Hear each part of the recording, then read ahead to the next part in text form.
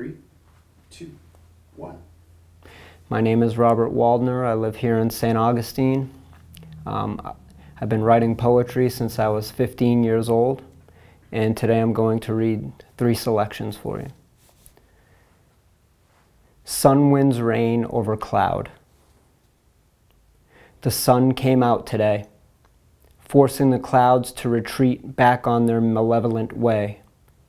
So this day anew has defeated all villainous skyscapes in view, only leaving only beauty to see and poetry to say. Cloud has long since reigned over sun, but now its crown has been stolen, its time of royalty is done.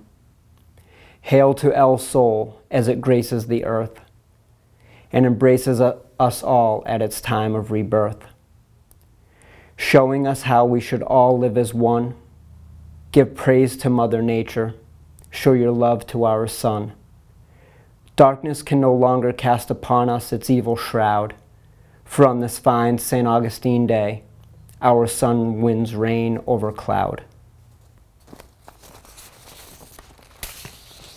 My next selection is about local um, activist and author Stetson Kennedy.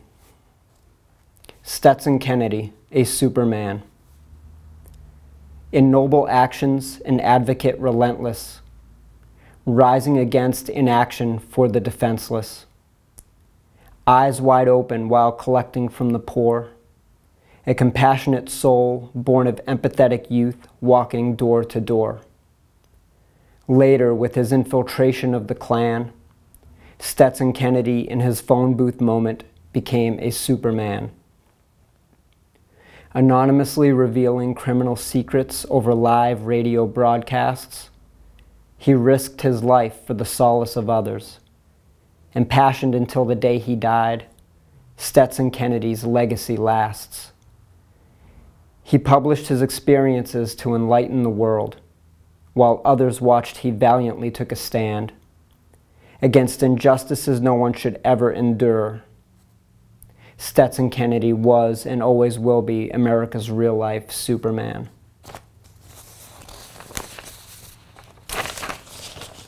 Uh, this piece is called Ancient City Morning. The awakening sun ascends out of the Atlantic and glimmers scintillatingly upon the Matanzas, draping its luminous affluence softly over the bayfront. Blanketing the Castillo and south past Cathedral Place to Avila Street. It shines sequentially west past St. George, then Granada, until the entire city is robed in warmth and light. I reminisce of childhood evasions from cold, dreary New England springs as the lions clear the sleep from their eyes of stone and take watch over the bridge to Anastasia. Introduced to the beauty, of the ancient city early in my life. I was captivated by her unequivocal ambiance and her ability to inscribe inspiration into my soul. I immersed myself in the city, home to the bay named for the infamous massacre that took place just miles down the river. A city which was built for battle but overcame her origins to make her name synonymous with serenity.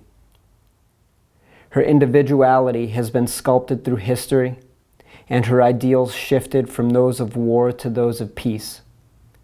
Now the congenial city and I are one as I stroll along her quiet streets in the early morning light.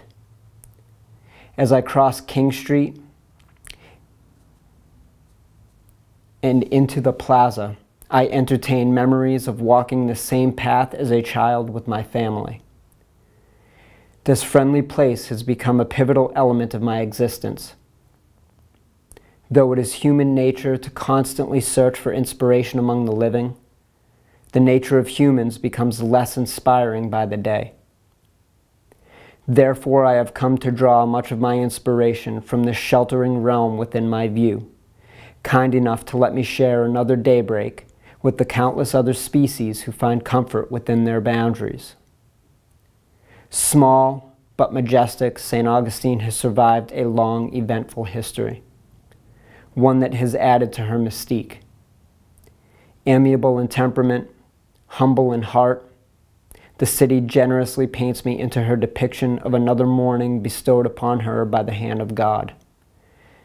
I will absorb the energy of this masterpiece I am surrounded by as I anticipate the eventual moonrise over the bay named for death, but which has come to represent the very best of life. I rest assured that I will soon again be here, seated on a seawall bench, basking in the peace of another ancient city morning.